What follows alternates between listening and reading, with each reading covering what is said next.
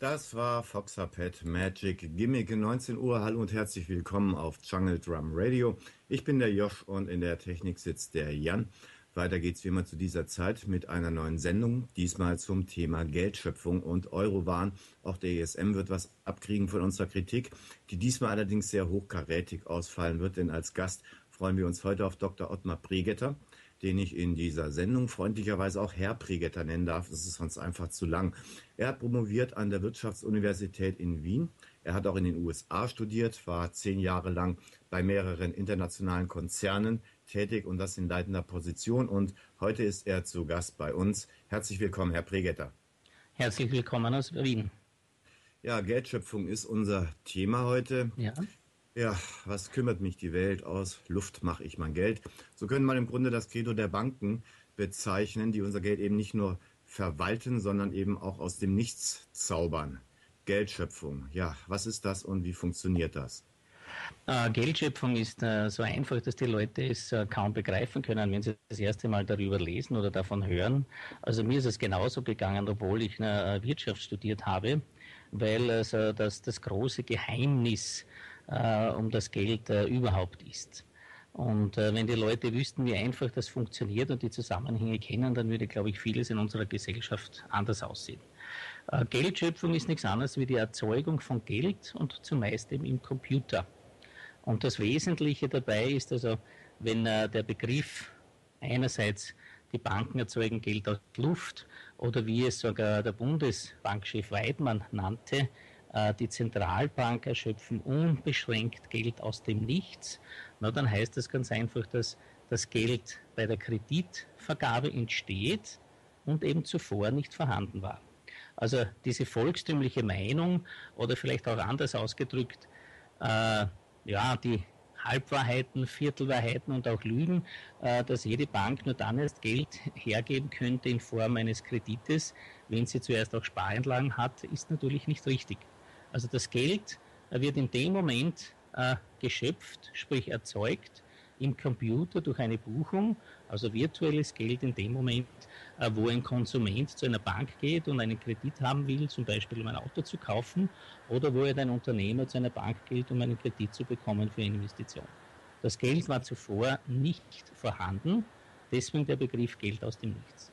Hm. Also um das nochmal ähm, zu verstehen, wenn ich zu meinem Banker gehe und den um 100 Euro ja. Kredit bitte, dann geht er nicht etwa zum Tresor und holt dort 100 Euro raus, sondern er nimmt einen Zettel und schreibt stattdessen 100 Euro drauf, gibt mir den und damit stehe ich aber mit einem Wert von 100 Euro bei ihm in der Schuld plus Zinsen. Das heißt, wenn ich das nicht zurückzahlen kann, dann kann der sich mein Fahrrad holen. Äh, so ungefähr, da müssen wir jetzt unterscheiden zwischen also dem äh, Chiralgeld, also dem virtuellen Geld, sprich wenn Sie einen Kredit bekommen, ich sage einmal von, von 20.000, 30.000 Euro für einen Autokauf, das ist vielleicht ein sehr gutes Beispiel, ja dann werden Sie das Geld nicht bar abheben, äh, das Geld in einen Koffer geben, mit der Straßenbahn durch ganz Hamburg fahren, bis Sie zu Ihrem Autohändler kommen und dort äh, das Geld bar auf den Tisch knallen, sondern Sie werden dorthin gehen und sagen, ich möchte das von meinem Kreditkonto überweisen und somit haben Sie also das Buchgeld, also das nur in den Computer existiert. Wenn Sie hingehen und äh, 100 Euro abheben, na, dann ist das Bargeld äh, und das ist natürlich das echte Geld, also das gesetzliche Zahlungsmittel, die Scheine und die Münzen, die sich die Bank, also jede Geschäftsbank, aber von der Zentralbank zuerst besorgen muss. Nun ist mir das ja eigentlich ziemlich egal, wo die Bank ihr Geld herbekommt, solange ja. es nur gibt, wenn ich es brauche. Äh, hat denn das trotzdem irgendwelche negativen Folgen für uns? Äh, na, es hat insofern große negative Folgen, weil äh, nur ein Prozent echtes Geld ist, nämlich das gesetzliche Zahlungsmittel, sprich das, was sich die Geschäftsbanken von der Zentralbank besorgen. Und das sind eben die Scheine und die Münzen. Und der Rest ist eigentlich kein gesetzliches Zahlungsmittel, sondern das äh, funktioniert nur, solange alle Konsumenten, sprich wir, daran glauben, dass dieses Geld äh, funktionieren kann für unseren Wirtschaftskreislauf. Hm. Nun kann ich aber äh, beispielsweise äh, für dich arbeiten. Ich arbeite eine Stunde ja. für Sie, Entschuldigung, und ich mähe Ihren Rasen. Und Sie geben mir dafür 10 Euro. Dann ist das vielleicht kein echtes Geld, aber damit kann ich ja trotzdem in den Supermarkt gehen und mir was zu essen holen und das ist dann was sehr, sehr Existenzielles, Existenzielles, mhm. sagt mein Arzt zumindest immer. Und deswegen äh, kann ich damit leben. Letztlich ist mir das doch wurscht, ob das Buchgeld, Realgeld, ob das Echtgeld oder Falschgeld ist. Hauptsache, ich krieg was auf den Tisch. Äh, das ist richtig. Ich meine, ich könnte natürlich auch, äh, ich sage mal, einen Überweisungsauftrag geben für die 10 Euro, was natürlich kein Mensch tut. Aber diese 10 Euro, das Bargeld, das ist ja schon das echte Geld. Das sind ja die Münzen und Scheine, wie ich zuvor sagte. Also das ist das echte Geld, mit dem man dann ein Bier kaufen gehen kann und völlig richtig den Konsumenten und deswegen kümmern sich die meisten auch nicht darum, wie das Geld entsteht. Kann es völlig egal sein, ob er das Geld jetzt abhebt oder halt bar bekommt, solange er damit halt bezahlen kann, sich eine Wurstsemmel kaufen kann, was auch immer. Aber für einen internationalen Prozess und für eine Volkswirtschaft hat es natürlich verheerende Auswirkungen. Dahingehend, wenn nur die Geschäftsbanken, ich sage einmal 99 Prozent des gesamten Geldes erzeugen können und eben erzeugen aus Luft. Und was für Folgen sind denn das? Na, die Folgen sind äh, ganz einfach, dass äh, vielleicht muss ich da jetzt ein bisschen ausholen, äh, weil wir länger uns länger unterhalten und dann immer wieder darauf zurückkommen. Äh, in einer Volkswirtschaft gibt es äh, fünf Sektoren und da muss man dann aufpassen im Sinne, äh, dass man das auch immer wieder mitnimmt in unserer Debatte. Das wäre einmal die Außenwirtschaft, also Exporte, Importe und die Kapitaltransfers. Dann wäre das der Staat und dann haben wir eigentlich noch die Privatwirtschaft. Und die Privatwirtschaft gliedert sich in die Banken, Zentralbanken, Geschäftsbanken, in die realen Unternehmungen oder wir können auch dazu sagen Nichtbanken und eben in die Konsumenten und Haushalte. Und das Entscheidende auf volkswirtschaftlicher Ebene betrachtet, ist jetzt, dass nur einer dieser Sektoren, nämlich die Zentralbanken und die Geschäftsbanken, also die Bank um die Ecke, die Sparkasse, das Geld erzeugen darf. Das nennt man Geldschöpfung. Und das Wesentliche jetzt dabei zu verstehen, äh, sicherlich kann man immer wieder argumentieren, solange ich Geld habe und abheben kann, ist mir das egal. Das Wesentliche und Fatale für die Wirtschaft ist natürlich, dass äh, die realen Unternehmungen, also ein Autohändler, genauso wie ein Konsument, nur das Geld bekommt über Kredit, über Schuld. Äh, und genauso die Banken sich das Bargeld, wenn man originär zurückdenkt, äh, sie haben ja, wenn sie ein Geschäft beginnen, überhaupt kein Geld. Das äh, Bargeld müssen Sie sich zuerst bei der Zentralbank kaufen und das Geld geht natürlich auch nur gegen Schuld oder gegen Kredit. Aber der Fazit davon ist, dass 100 Prozent des Geldes als Schuld, als Kredit entsteht. Und das ist das, was viele Politiker und, äh, nicht verstehen oder nicht verstehen wollen. Äh, bei den Ökonomen oder Wirtschaftswissenschaftlern bin ich mir nicht so ganz sicher. Also die einen, die es wissen, sagen es nicht und die zweiten verstehen es vielleicht wirklich nicht. Hm. Also das ist im Grunde so, wie wenn man in ein Glas Bier so viel Wasser reinschüttet, äh, dass es einfach nicht mehr schmeckt oder einfach nichts mehr taugt und das dann aber zum vollen Preis trotzdem verkauft. Also so, so, ungefähr, ja, so ungefähr. Aber das Wesentliche ist ja jetzt auf einer gesamtwirtschaftlichen Ebene, äh, dass natürlich die Konsumenten so lange nicht drückt, solange sie eben überschuldet sind oder ich sage einmal arbeitslos werden und die Schulden sie hier drücken und die Zinslast sie hier drückt, so wie wir jetzt in ganz Südeuropa haben. Äh, wenn man dann auf volkswirtschaftlicher Ebene weiß, dass 100 Prozent des Geldes nur als Kredit entsteht, na, dann gibt es natürlich kein Entrinnen aus diesem Geldsystem. Hm. Zu diesem Thema haben wir übrigens einen ganz hübschen Einspieler gefunden, ja. dem der Erwig Pelzig das Ganze mal so aus seiner Sicht schildert in seiner Sendung äh, Pelzig hält sich. Sein Gast ist diesmal die Hannelore Kraft. Das ist die äh, nordrhein-westfälische Ministerpräsidentin und die leiht sich ihr Geld natürlich auch bei der Bank. Jan, lass mal was hören. Äh, wenn Sie jetzt wieder, Sie, glaube ich, eine neue Kreditneuaufnahme in NRW 4,7 Milliarden. 4,8. Bei wem leihen Sie sich das Geld? Bei Banken? Bei Banken. Auf dem Finanzmarkt. Die Sie dann hinterher retten. Genau. ja, die Dinge ist doch absurd.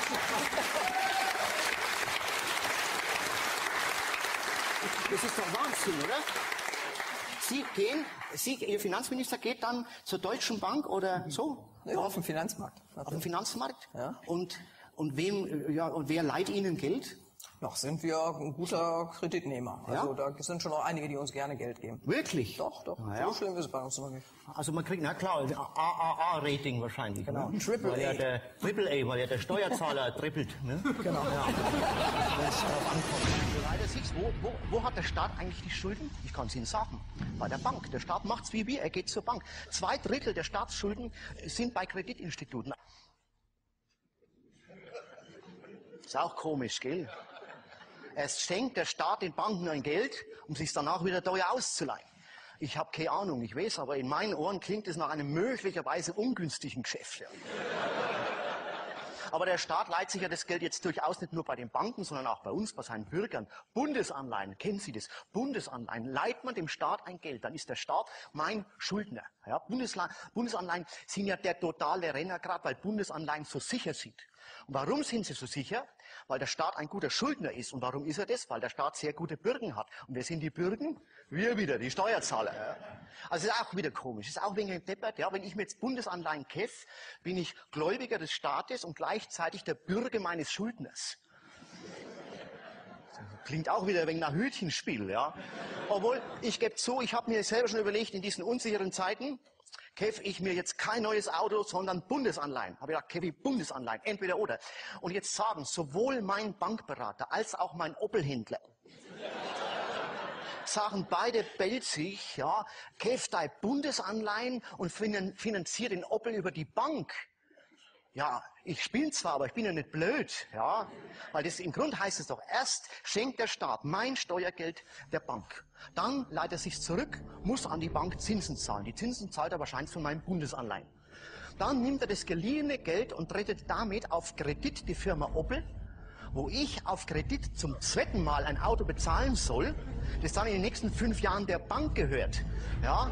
Und wenn's, wenn die Dreckskarre dann, dann nichts mehr wert ist, dann ist es mein eigenes. Ja, ja der fällt sich, der macht wenigstens Spaß, die Hannelore Kraft eher nicht so. Aber die mhm. sprach ja von den Finanzmärkten, wo wir uns unser Geld leihen. Deswegen würde ich gerne mal die Frage stellen, was ist denn dieser Markt überhaupt? Früher, da gab es den Wochenmarkt, den kennen wir, und heute ist das irgend so eine abstrakte äh, Macht, die wie so ein Raumschiff über unseren Köpfen schwebt, auf uns herabschaut, unser Leben bestimmt. Ja, die Frau Merkel, die will ja eine marktkonforme Demokratie und keinen demokratiekonformen Markt. Was ist das denn bitte für ein Markt? Was sollen wir uns darunter vorstellen? Äh, ja, früher hat es ja den Markt gegeben, den gibt es ja jetzt auch noch, wo man in Hamburg am Fischmarkt so den Fisch kauft und dort vielleicht noch, wenn man halt für die ganze Familie einkauft, ein bisschen handeln kann. Äh, das wäre also schon der ursprüngliche Markt. Natürlich ist jetzt die Börse und ein Finanzmarkt so ein abstraktes Gebilde, aber auch äh, hinter den Finanzmärkten gibt es ja Gesichter. Und die Gesichter sind natürlich also die großen äh, Banken, die dort operieren. Also nur als Beispiel, also drei große Banken, also JP Morgan, Goldman Sachs und die Deutsche Bank, betreiben 60 Prozent des Aktienhandels, den Hochfrequenzhandel. Also das heißt, wir haben hinter den Märkten, hinter den großen Volumina, die bewegt werden hinter den großen Käufen und auch Aufkäufen eben von Staatsanleihen, eben Gesichter, das sind also die großen Banken und dahinter, und das ist jetzt natürlich wirklich fatal, äh, gibt es die sogenannten Schattenbanken.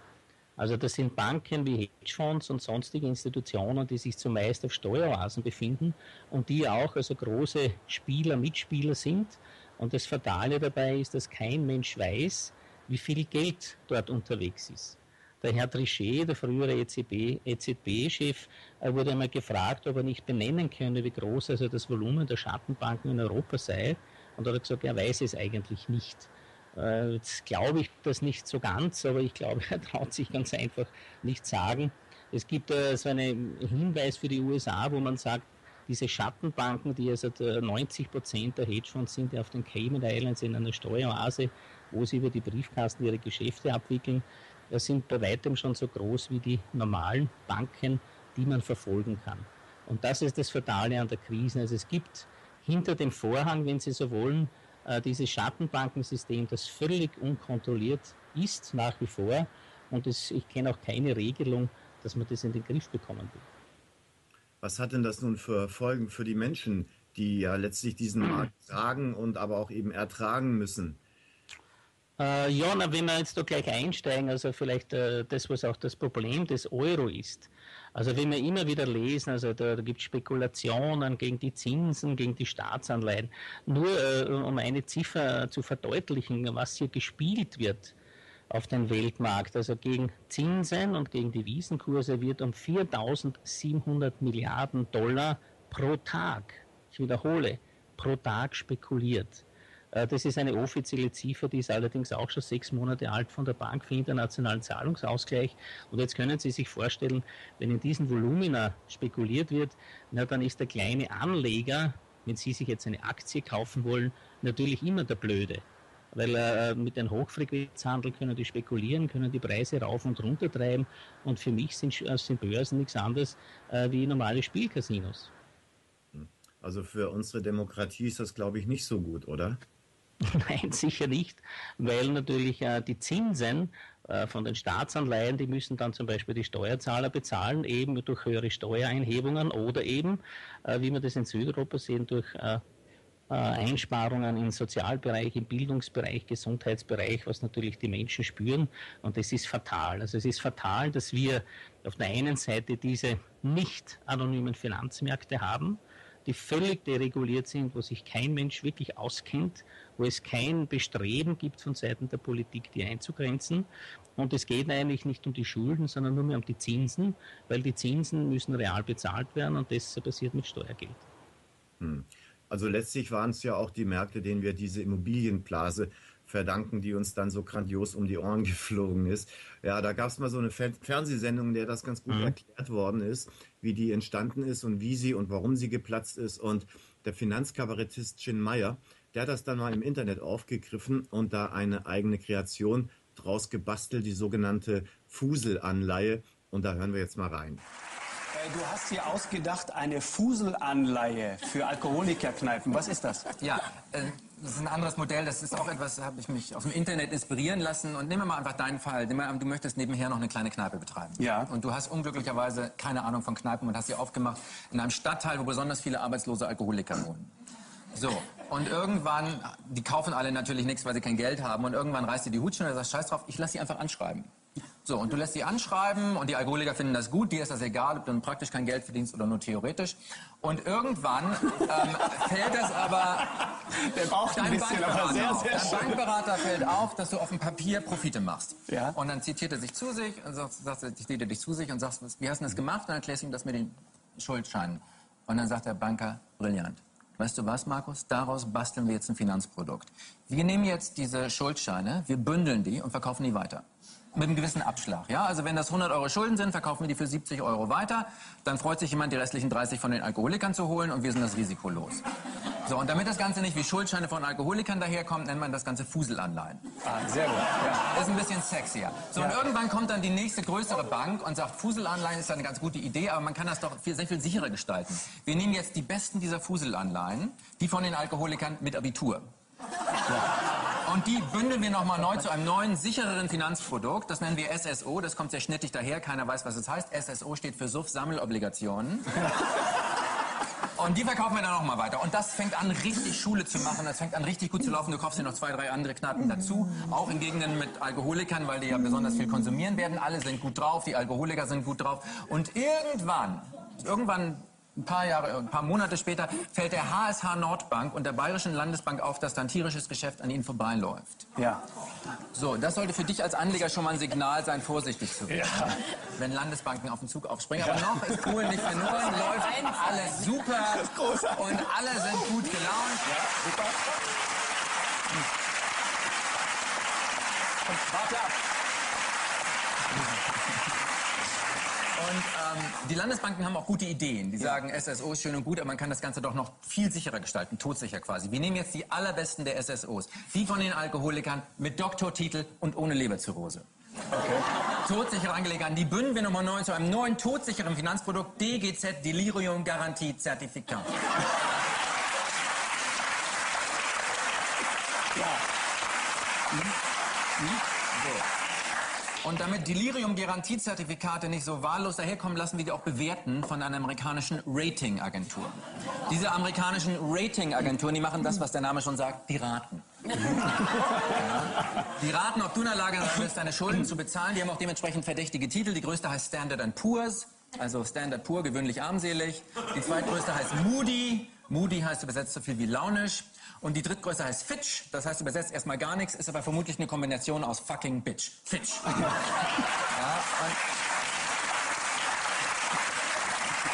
Oder familiert sich prächtig hier. So, das Gute an diesen Ratingagenturen ist, du bezahlst die, wenn du bewertet werden willst. Und wenn du denen genügend Geld in den Rachen geworfen hast, dann sind die magischerweise davon überzeugt, dass du alle Schulden begleichen kannst. Dann kriegst du die gewünschte Bewertung AAA, dreimal A, alles absolut alkoholisch. Und mit dieser AAA-Bewertung ziehen jetzt die Bayerische Landesbank und die HSH Nordbank los und verticken DGZs im ganz großen Stil und alle steigen ein. Große Pensionsfonds, Leute stoßen ihre Staatsanleihen ab, Zahnärzte schulen um von Zahnarzt auf Knoike, weil es der sicherste Weg zur ersten Million ist. Das ganze Land spielt verrückt, alle sind gut drauf, alle machen mit. Führende Analysten sagen, es besteht überhaupt kein Grund, weshalb der DAX nicht am Jahresende die 12.000er Marke überspringen sollte. Alle sind gut gelaunt, bis dann irgendwann ein kleiner Sparkassendirektor von einem der Alkoholiker ein bisschen Geld in Begleichung einer allerersten Rate sehen möchte. Und dann, Markus, solltest du deinen Learjet schon mal mit Nase Richtung Karibik geparkt haben.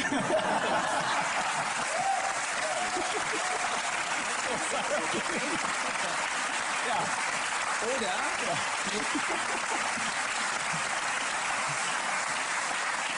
du machst, und das ist das Vielversprechendere, du gehst zur Regierung und du sagst, Moment mal, das sind noch alles Hartz-IV-Empfänger. Das sind noch eure Leute. Und wenn ihr mich jetzt hier nicht aus der Kacke raushaut, dann fahren wir die Wirtschaft kollektiv so dermaßen gegen die Wand, dass ihr nie wieder gewählt werdet. Und schon spannt sich über dir ein Rettungsschirm auf, du springst ab, wir sehen uns wieder.